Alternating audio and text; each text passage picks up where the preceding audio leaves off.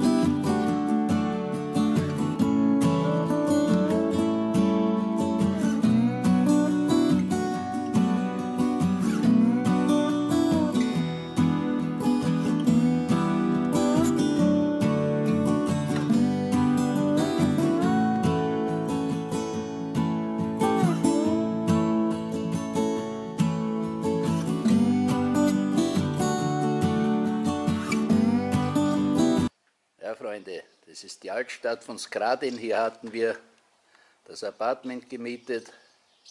Leider ist der Ausflug zum Nationalpark Krücker vorbei. Wir werden jetzt zu den Blitwitze-Seen fahren und da gibt es dann ein neues Video. In diesem Sinne möchte ich mich verabschieden. Wenn euch mein Video gefallen hat, gebt mir einen Daumen hoch, abonniert meinen Kanal. Ja, auf Wiedersehen, tschüss, Servus für die Österreicher, auf Wiederluger für die Schweizer. Und dass ich es nicht vergesse, bleibt so anständig, wie ich sein sollte. Bye, bye.